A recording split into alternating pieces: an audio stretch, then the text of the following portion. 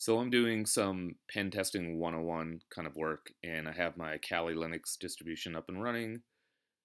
I have Burp Suite up and running. I have a proxy going from Firefox into Burp Suite, and I came across a problem that you may have come across, and I'm hoping this is going to help you. I'm not exactly sure why this is the case, but this is what I've discovered, which is that when you're clicking around in Firefox, when you have Burp Suite up and running as the proxy, everything seems fine when you set the intercept on to capture whatever you're trying to pull, you'll see test or whatever. And you'll see the left-hand side that comes in. And then when you want to keep going, as you go to other pages, you'll see it just loads.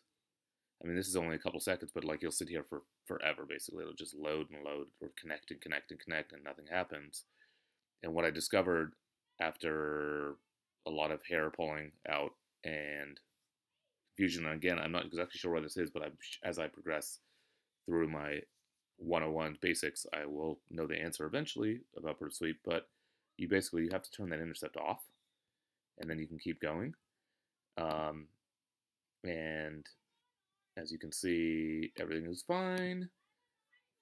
When you want when you want to actually pull some sort of information, then and this is I, am I'm following this Udemy course with Jesse Curtis, and this is exactly why I did it, but I didn't understand why I did, so I didn't necessarily follow it. But what he does is he'll he'll turn the intercept off.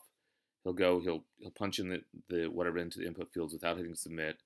Then he'll turn the intercept on, and then he'll hit the login and it'll capture whatever he needs. So anyway, I hope that helps. Turn the intercept off, and you will have a lot more luck when you're using Burp Suite and you are trying to navigate through the website.